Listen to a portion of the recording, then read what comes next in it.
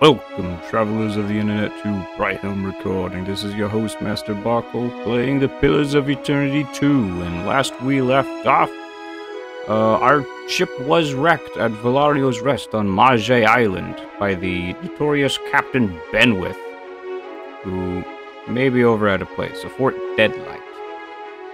And if you don't remember, we're still trying to hunt Eothas, but I want some revenge first for wrecking me here in the first place. Well, I mean, I guess the storm wrecked me here, but, you know, I still blame him for attacking me.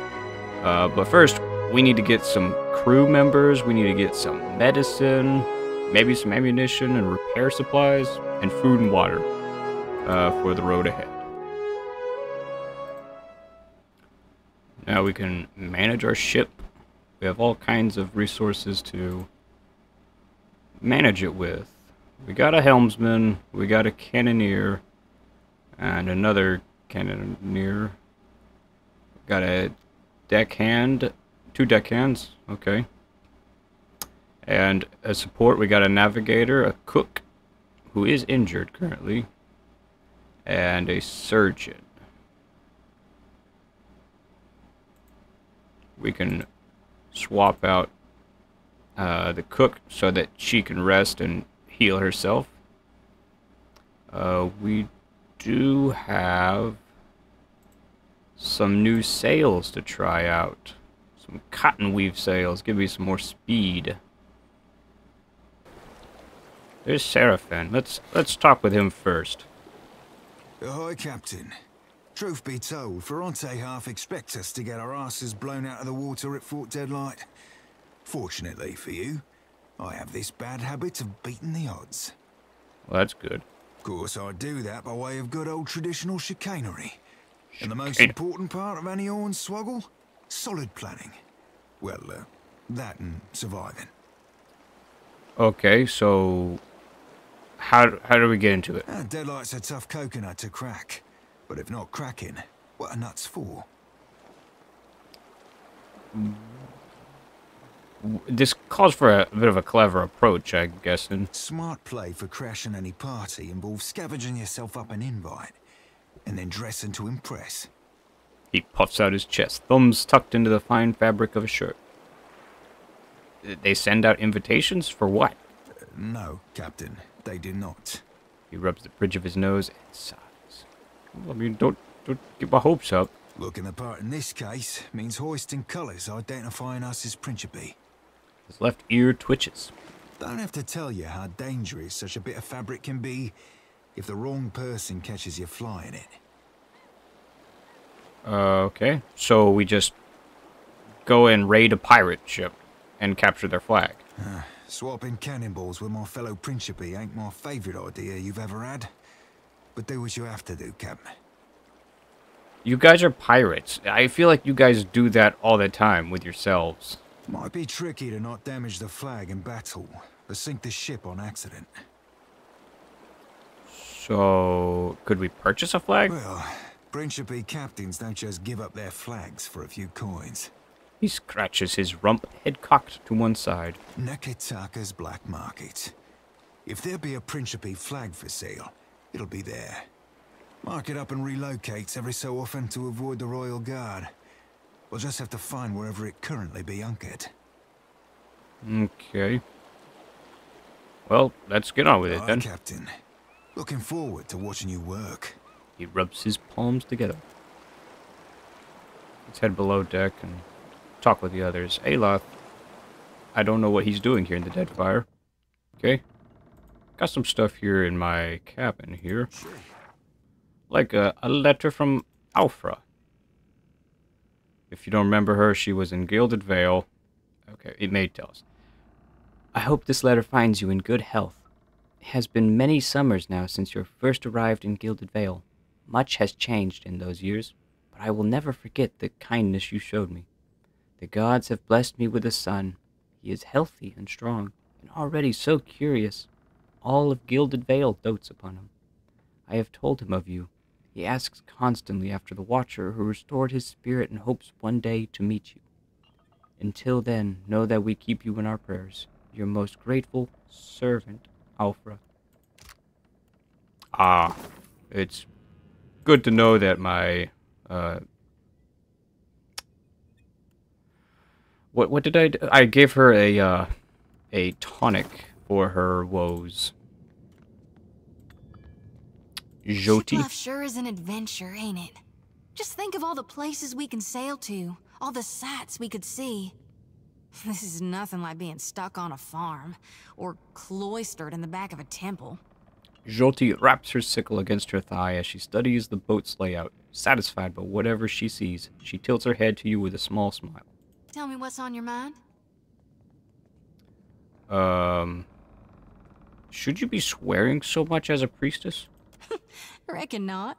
She grins wide and confident. But I can't help but be a touch wayward. Yeah, I can tell. I don't take it too far. My mom caught me once necking in the Merkberry stalks. And of course, I fight. Mm-hmm. But I've not done much more than that. And I don't use the real ugly words. She waggles her sickle around in a helpless sort of gesture. Sometimes the feelings, they just come tumbling right out of me. God's darn it. What are your thoughts on Eothas? We talking during the Saints War or after he died? In general. Um, I, I, I guess what's the difference? Well, before he died, he was still Eothas as the majority of my brethren know him. Eothas embodied a human, and when that human got blown to bits, we all believed Eothas died. And I think a part of him did, the part he'd most closely woven into living flesh, the part that represented life, and rebirth after death. Mm-hmm. Which means the part of him that could have survived, that stormed across the Deadfire seas, was the side more aligned with obsidian rot and falling away. That which is death. Okay. No need to fiddlefoot around. I'm listening. Have you suffered any recent nightmares? I did, recently with you. You were walking the depths of the ocean, but you didn't drown. And in your hand, you gripped the key to Eora's end. The key to Eora's end? Her face alights with a fierceness. I've seen stars wreathing a statue's brow, and souls flowing like tears over gleaming adra.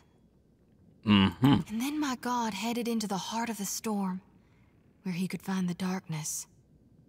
He Could find the darkness. I'm glad we talked. You're a strange one, Xoti. You're a strange one. Alrighty, Aloth. Thank you again for maintaining my story in front of Vanessa and the others. He gives you a grateful smile that fades almost as quickly as it appears. I didn't enjoy deceiving them, but it seemed simpler than the alternative. Simpler than explaining your involvement with the leaden key? Absolutely. I hoped you'd understand. He nods. Believe me, I take no pleasure in duplicity. What exactly were you doing out here? After we parted, I set out to destroy the leaden key. Mm-hmm. It's controlled us for too long. I wanted to free Kith from it.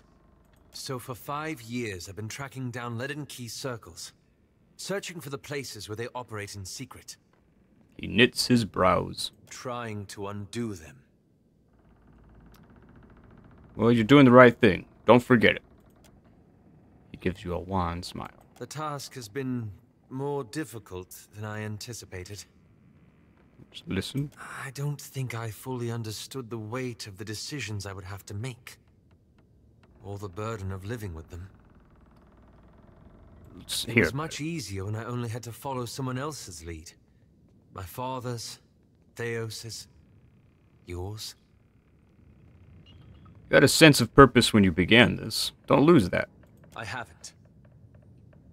After we defeated Thaos, I thought the hard part of undoing his work would be tracking down the Leaden Key's members and operations. Maybe he had an address book. Too bad you burned his robes. He gives you an appreciative smile, but his mind is clearly elsewhere. Perhaps this would be easier with an example. Okay. I went to a village in Old Vailia. A run-down backwater a place. Aye, right home like it was. Aloth's expression shifts as Iselmyr briefly emerges. Uh, centuries ago, the Leaden Key had intervened to end some heretical cult. Mm-hmm. The details were lost, but what had endured was a practice of ritual bloodletting.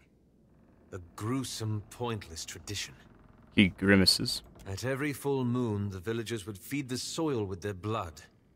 No one, young or old, sick or hale, was exempt. Hmm. They must have had some purpose in mind.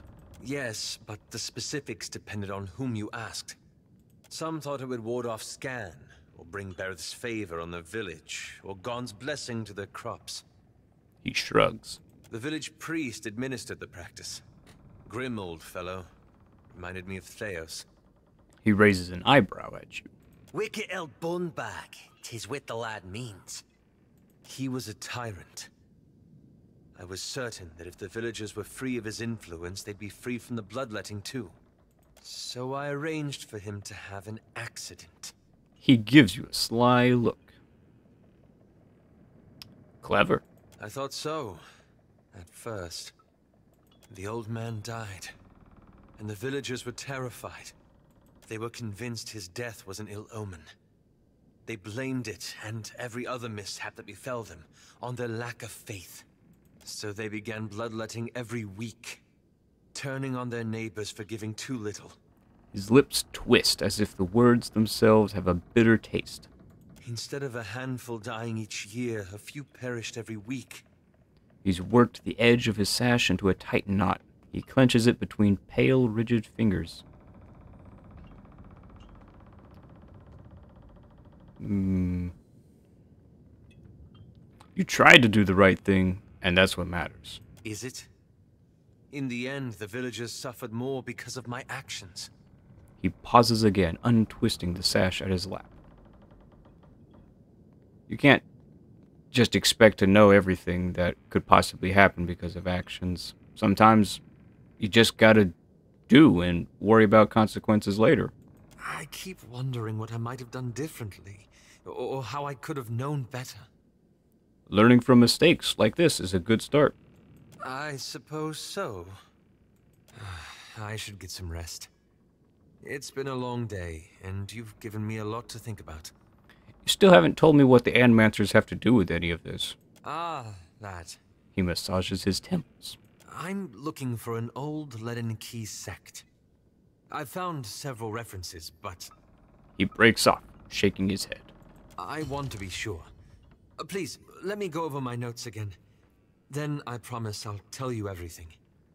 Alrighty, we'll talk more later then. How you doing, Edér? Hey, this brings back some memories, huh? How do you like Deadfire? The air's different. Especially compared to Gilded Vale, where there's more livestock than shovels. Mm-hmm. Sounds different, too. You wake up to all those bird calls, it really does sound like they're making music. If the birds woke you in Gilded Vale, it was usually a couple crows making the most horrible mating noises you ever heard. Ugh. Strange thing is, I still get this feeling in me, like I wish I was home. That that makes sense. Well, we'll get moving then, I guess. So, we want to buy a Principi flag at Neketaka, huh?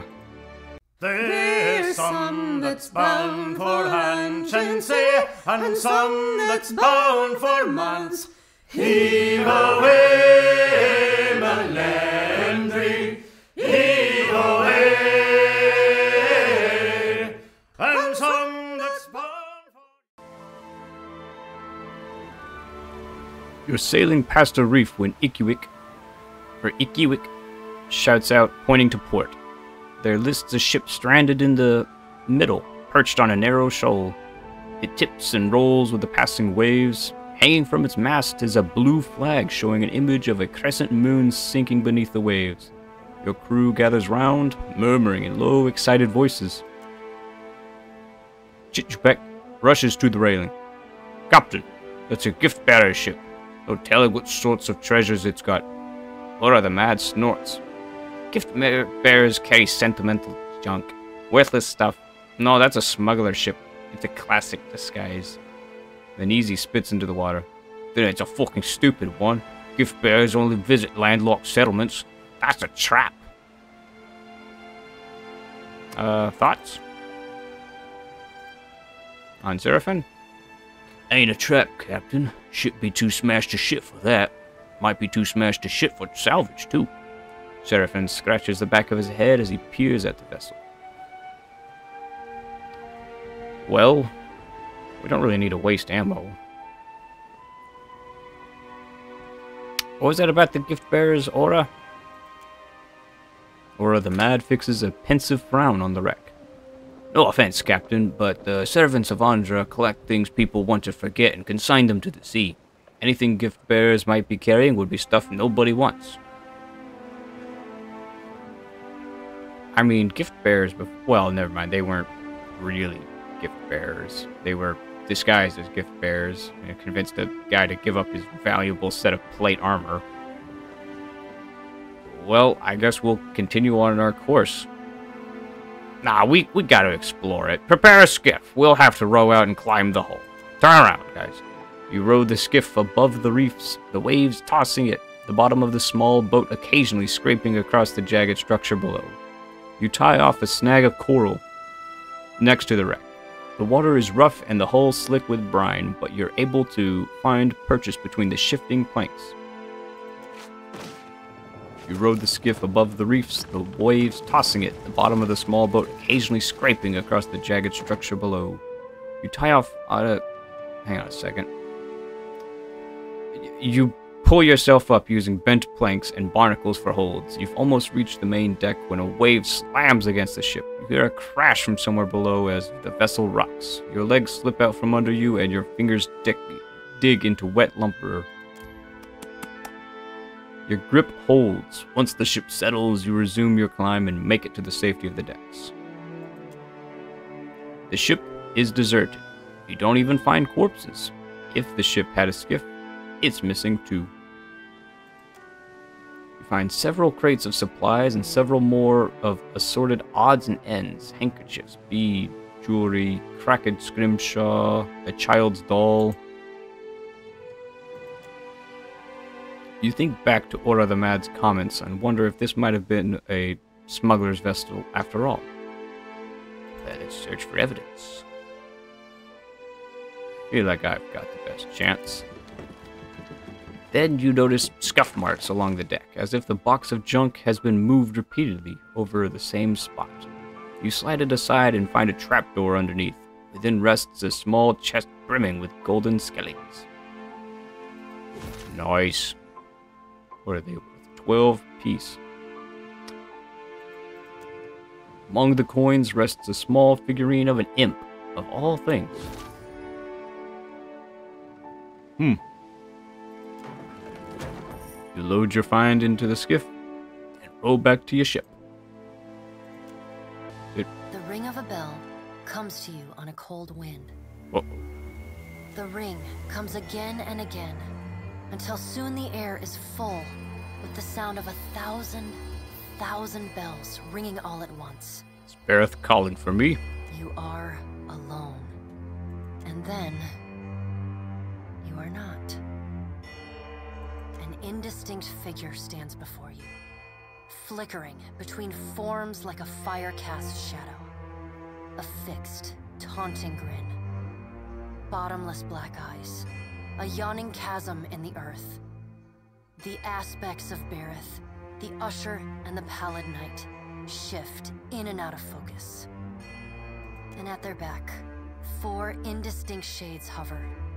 You feel an eternity stretch out behind each of them, reaching back to places so distant and yet so near you cannot comprehend their size. The shifting image of Berath settles on the aspect of the Pallid Knight. Watcher, Her vote. voice No. is the discordant clangor of gongs struck out of time. I had a little bit of a brain fart there. I tasked you to discover Eothas's intentions. Tell me what you have learned. Uh, I can't follow Eothas around if you're gonna keep dragging my soul into the beyond whenever the whim takes you. I will send your soul back to the wheel should the whim take me. Her wan face contorts into what on mortal kith might be called a smile. On her, the effect is more akin to a rotting pumpkin caving in upon itself. Hmm. Do not give me cause to doubt your commitment, Watcher. He's draining souls from veins of luminous Adra. The pallid knight knits her brows. He does not seek to return to the beyond? Intriguing. Her sickly pale skin pulls tight across the bones of her face. As if the shell of this aspect does not quite fit the impossible creature it contains. The figure nearest Berath dissolves and reforms in the image of a thin-lipped, ancient crone, whose face has felt the melting kiss of fire. Mm-hmm. The goddess Woedica strides forward. Does Eothas frighten you, Berath? He should. Magran subdued Eothas's influence once before, and yet he returned. From out of Woedica's shadow shuffles a hunched, bald man you recognize as the god Skaen. His skin is mapped with swollen lash scars, and breath whistles through the ragged hole in his face, where his nose once was. He does not speak, but stares up at Woedica, with naked loathing plain on his ruined face. Woedica steeples her long, knob-jointed fingers. We must annihilate Eothas now, before he makes a rash decision we cannot easily annul. She casts a sly look at the pallid knight from the corners of her eyes. The moon would do the job nicely. You would destroy Eora? For what? Spite? Woedica stares at you down her long nose. I would destroy it all in the blink of your wide eye if I believed it would benefit me. Empires can be rebuilt. Souls can be reforged. Well, that's kinda cold. Do not forget it. The figure beside the aspect of Berath flows forward in a swirling cloud of ash.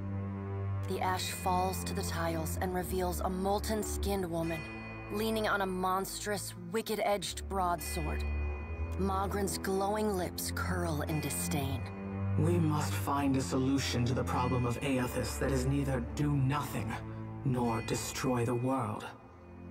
I acted in haste during the Saints' War. You will not goad me into doing the same now. Hmm. To move against him while his plans are unknown would be the height of foolishness. We must find wisdom in precaution. I'll just say nothing this time. Another of the silent figures steps forward, and the warm, golden light of a summer's afternoon spills across your face. Let's all take a deep, calming breath. Perhaps cooler heads will prevail.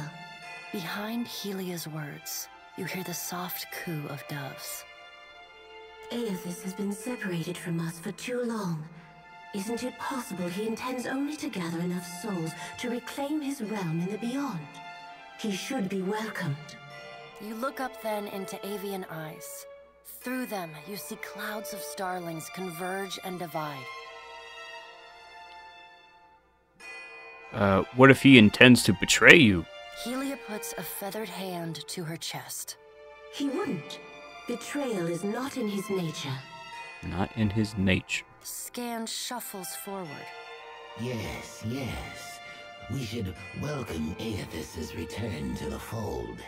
His gratitude we can leverage to cajole him into divulging his plot. Why are you so goddamn creepy, Skaen? Then, when he believes himself to be in our good graces, we do as Woedica suggests, and crush him into the earth. Skaen pauses, inspecting you. Just like you did to Abydon? Ah, and here is the Watcher who killed Lord Haran, the man who tormented his dear niece, Alice. Curious. It's better than what you were trying to do. Skaen licks the ragged edge of his lipless mouth and grins, then turns to Hylea. I did not expect such a deliciously ruthless idea from you, Hylea. I am impressed. Good God, why is this guy here? Hylea's feathered crest stands on end.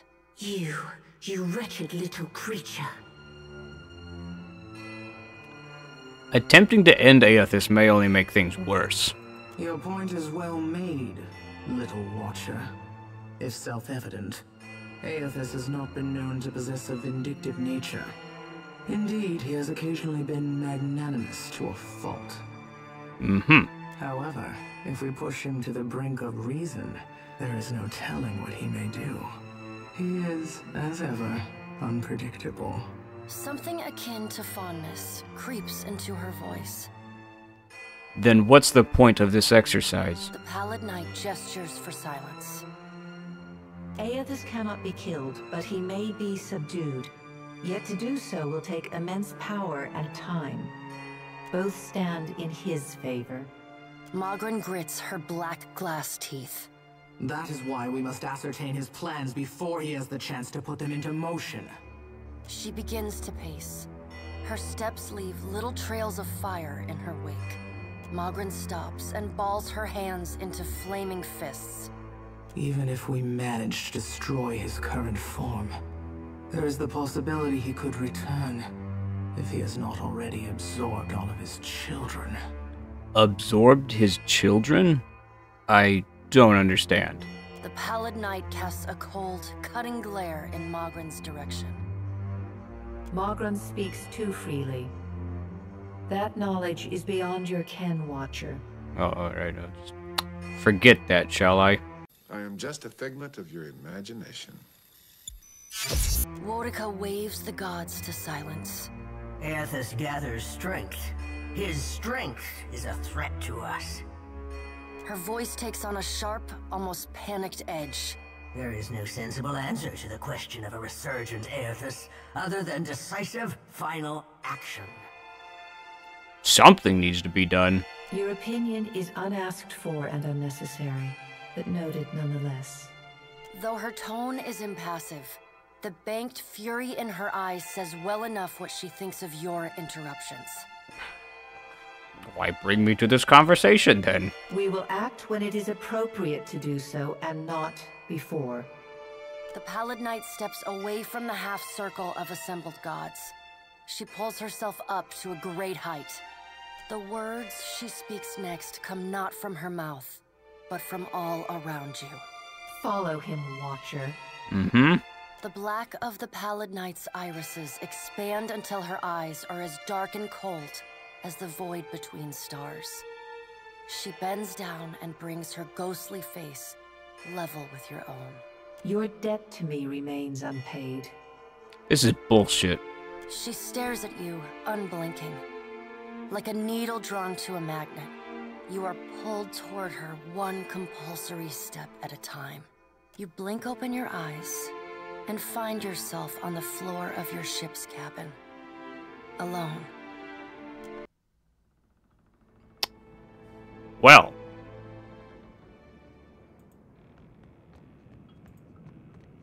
Yeah? Tell me what's on your mind? You need me, I'll be two whoops in a hall. Oh, goodness. Two whoops and a holler away. Yes? Uh, how are you holding up, Aloth? It's been a while since I've been able to speak candidly with anyone, especially about the Leaden Key. It's unexpectedly liberating. Alrighty. Well, let's get back to it, I guess. to teach them wheels to dance. Heave away, my Landry boy, we're all bound to go. Oh, the crew we are the.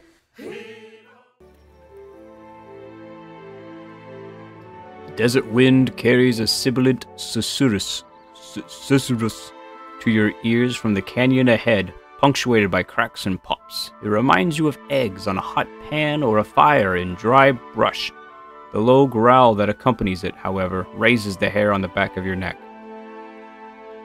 Listen carefully. With my sharp hearing eye, ears, not eyes. The sound resolves into a rhythmic chittering, slowly and cyclically rising and falling. It sounds like a chorus of voices. inhuman voices. Uh, well, let's continue cautiously forward, I guess. Carefully into the desert canyon, keeping to the shade cast by the tall standing stones. Ahead of you, a group of Xaurips chant, hopping back and forth on skinny legs, shaking their spears. Nested between them rises the black leathery form of a drake.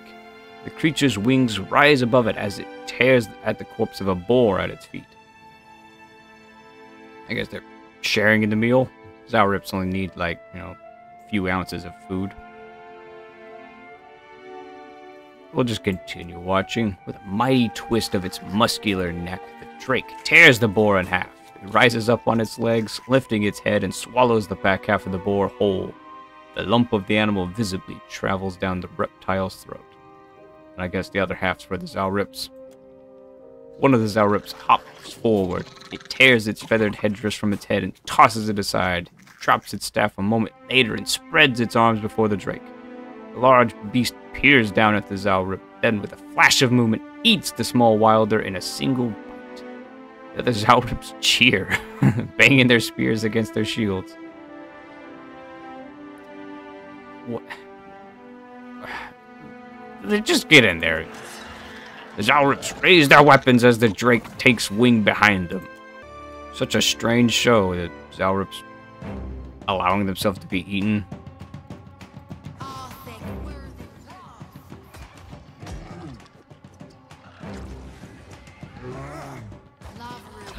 Something stronger. Move.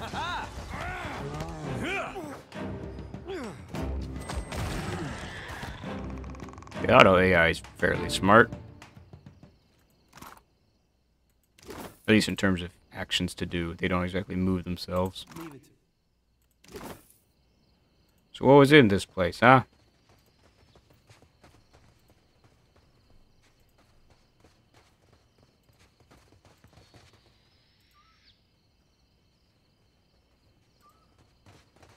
A whole bunch of nothing, maybe? It's not a very big space. These may be like random encounter areas. They're just like meant for just that. Well, I guess we'll be out of here.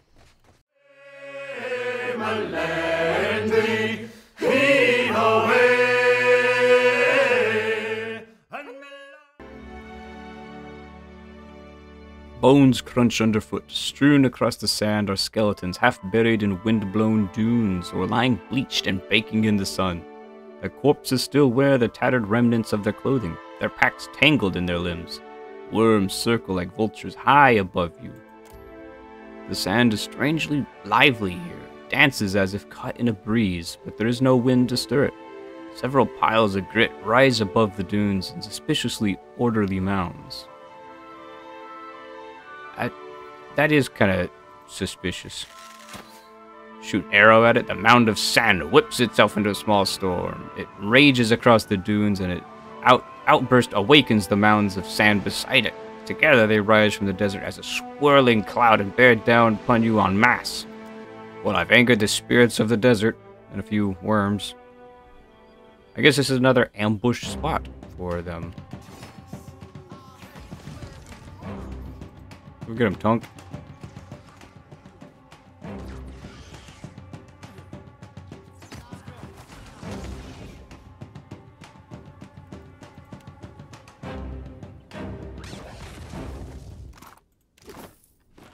Oh, that was too big a trouble. Only the one skeleton. Yeah, not much. Oh, this guy had some loot. He had some healing hands. Sweet. Gone again with the good westerly wind. Heave away, Melandri boy. You come upon the opening to a small cave. Putrid gusts of hot air burp from deep within, and you hear the faint chitter and hiss of Xaurips in earnest conversation. Well, let's just go right in. Your boots crunch through a drift of brittle bones as you creep into the Xaurip lair. What?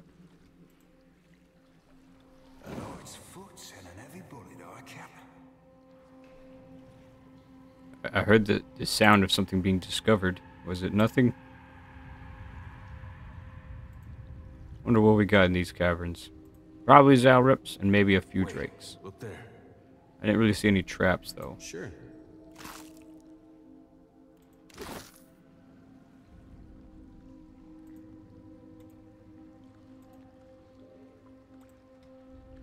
Follow him into a group. Okay. This seems like the spot to fight them. Let's do this. Alright, we got a priest coming around. Go get, get that sigil atrophy. Goodness. That thing is brutal. Can you smack it, Tunk? Can you do anything? Okay, guys, get out of that.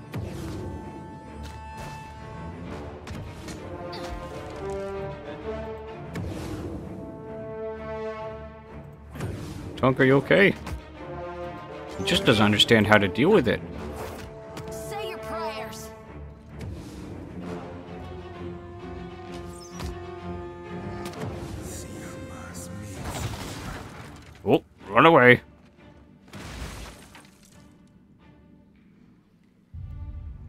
Well, that curse of atrophy. Minus 10 might. Oh my goodness. That was brutal curses. Well, how do we take care of that? Man, Sure thing. Sigil of Atrophy was pretty brutal. We gotta watch out for those things, I guess. Leave it to me.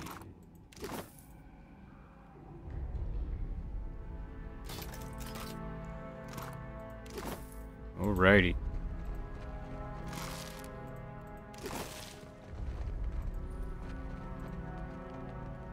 It's mine now. I don't think they laid any traps in their own home, would they? That doesn't make much sense eye to me. Yeah, There's a walloping.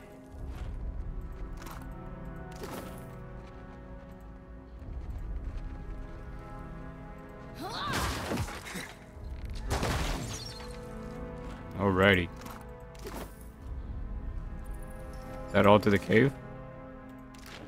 What's this? Mother Sharp Rock. From between the bars, there's a frail and sickly Xaurip.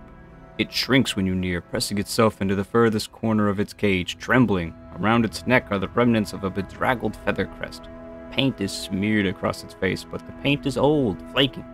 It hasn't been reapplied in some time.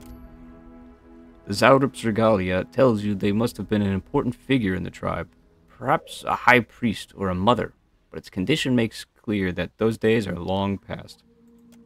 What happened to you? The Xaurip watches you with an unreadable expression on its face and says nothing. Can we can we break open the cage? You tear the bars clear out of their frame. Just have enough. I'm down to 13.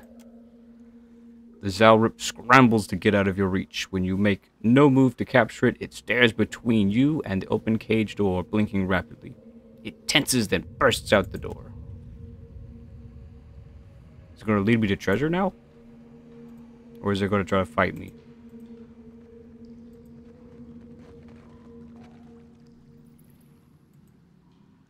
The Xaurip watches you intently. Is it following me? I, I just followed it. Why are you following me? Yeah. Xaurip tilts its head slowly and blinks. It narrows its eyes like it can't quite figure out what you mean. I understand too, because I, I just followed you. It glances back at the cage you freed it from, then stares at you expectantly. Oh, do you expect me to be your leader? Do you always follow your leader around? Xaurip clings tightly to your leg and refuses to let go. You want to come with me? It stares up at you, unblinking, and finally releases your leg. When you make no move to chase it away, it hops up and down excitedly. Oh, alrighty then. Um, If you told me a few years ago that I'd end up following you on another crazy errand, I'd have said you were out of your mind. oh yeah?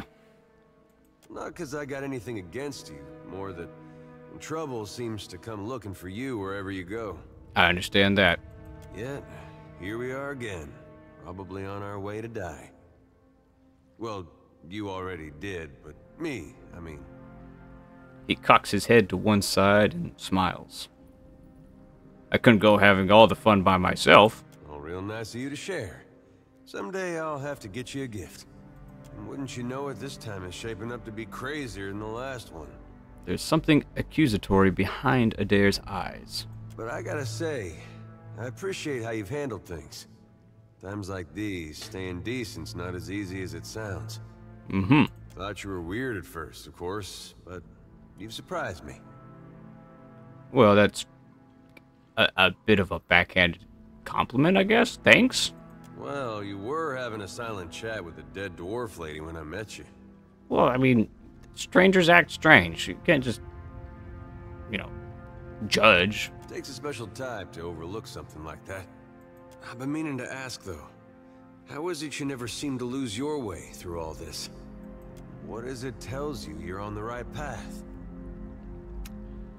Uh...